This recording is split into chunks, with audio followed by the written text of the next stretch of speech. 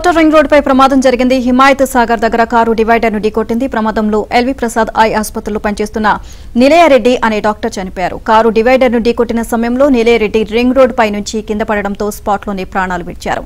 ప్రమాదంపై సమాచారం అందుకున్న పోలీసులు స్పాట్కు చేరుకుని చెట్ల పొదల్లోని మృతదేహాన్ని ఉస్మానియా ఆసుపత్రికి తరలించారు.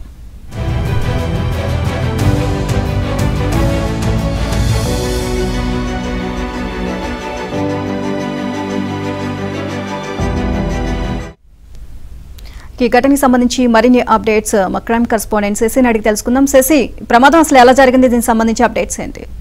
రాజవర్ నగర్ ఔటర్ రింగ్ రోడ్డుపై ఘోర రోడ్డు ప్రమాదం చోటు చేసుకుంది. ఇక డివైడర్ ఢీకొచ్చి ఒక కారు బోల్తా పడింది. ఈ కారులో ప్రయాణిస్తున్నటువంటి ఒక వ్యక్తి అక్కడికక్కడే మరణించినటువంటి సందర్భం అయితే ఉంది.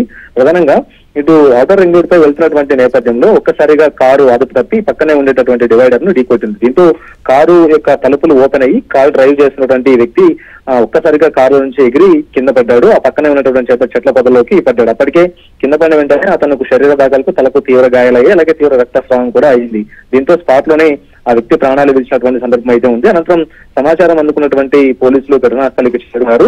చెట్ల పొదల్లో పడిన పడినటువంటి మృతదేహాన్ని బయటికి తీసుకొచ్చారు. అనంతరం ఉస్మానియా ఆసుపత్రికి ఉస్మానియా మార్చురికి ఆ డెడ్ బాడీని తరలించారు. మృతుడు నిలయరెడ్డిగా గుర్తించారు. Nilaya Reddy L V Prasad eye హాస్పిటల్లో సీనియర్ డాక్టర్గా పనిచేస్తూ ఉన్నారు.